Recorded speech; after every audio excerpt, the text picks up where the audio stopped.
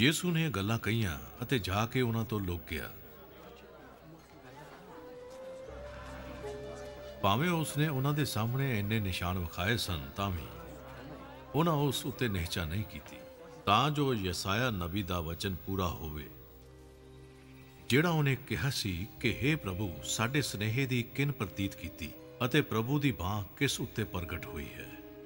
ਇਸ ਕਾਰਨ ਉਹ ਨਿਹਚਾ ਨਾ ਕਰ ਸਕੇ, ਕਿਉਂ ਜੋ ਯਸਾਇਆ ਨੇ ਫੇਰ ਆਖਿਆ ਉਸ ਨੇ ਉਹਨਾਂ ਦੀਆਂ ਅੱਖਾਂ ਅੰਨੀਆਂ ਕਰ ਦਿੱਤੀਆਂ ਅਤੇ ਉਹਨਾਂ ਦਾ ਦਿਲ ਕਠੋਰ ਕਰ ਦਿੱਤਾ। ਮਤੇ ਉਹ ਅੱਖਾਂ ਨਾਲ ਵੇਖਣ ਅਤੇ ਮਨ ਨਾਲ ਸਮਝਣ ਅਰ ਮੁੜ ਆਉਣ ਅਤੇ ਮੈਂ ਉਹਨਾਂ ਨੂੰ ਚੰਗਾ ਕਰਾਂ।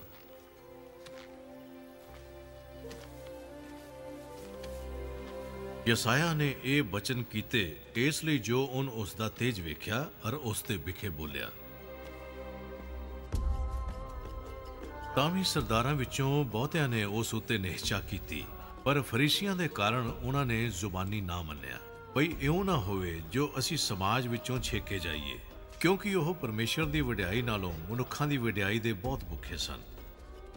ਯੀਸੂ ਨੇ ਉੱਚੀ ਆਵਾਜ਼ ਨਾਲ ਆਖਿਆ, ਜਿਹੜਾ ਮੇਰੇ ਉੱਤੇ ਨਿਸ਼ਚਾ ਕਰਦਾ ਹੈ, ਉਹ ਮੇਰੇ ਉੱਤੇ ਨਹੀਂ, ਸਗੋਂ ਉਸ ਉੱਤੇ ਨਿਸ਼ਚਾ ਕਰਦਾ ਹੈ, ਜਿਨ ਮੈਨੂੰ ਕੱਲਿਆ। ਪਰ ਜੋ ਮੈਨੂੰ ਵੇਖਦਾ ਹੈ, ਸੋ ਉਸ ਨੂੰ ਵੇਖਦਾ ਹੈ ਜਿਨ ਮੈਨੂੰ ਕੱਲਿਆ। ਮੈਂ ਜਗਤ ਵਿੱਚ ਚਾਨਣ ਹੋ ਕੇ ਆਇਆ ਹਾਂ। ਤਾਂ ਜੋ ਹਰ ਕੋਈ ਜੋ ਮੇਰੇ ਉੱਤੇ ਨਿਸ਼ਚਾ ਕਰਦਾ ਹੈ, ਉਹ ਹਨੇਰੇ ਵਿੱਚ ਨਾ ਰਹੇ।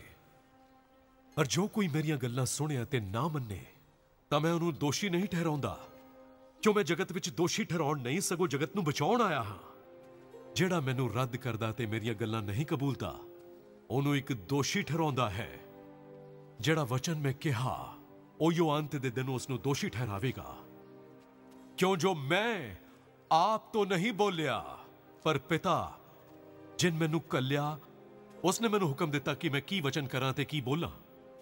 ਪਰ ਮੈਂ ਜਾਣਦਾ ਕਿ ਉਹਦਾ ਵਚਨ ਸਦੀਪਕ ਜਿਉਣ ਹੈ। ਇਸ ਕਾਰਨ ਮੈਂ ਜੋ ਕੁਝ ਬੋਲਦਾ ਹਾਂ, ਸੋ ਜਿਵੇਂ ਪਿਤਾ ਨੇ ਮੈਨੂੰ ਆਖਿਆ ਹੈ, ਤਿਵੇਂ ਬੋਲਦਾ ਹਾਂ।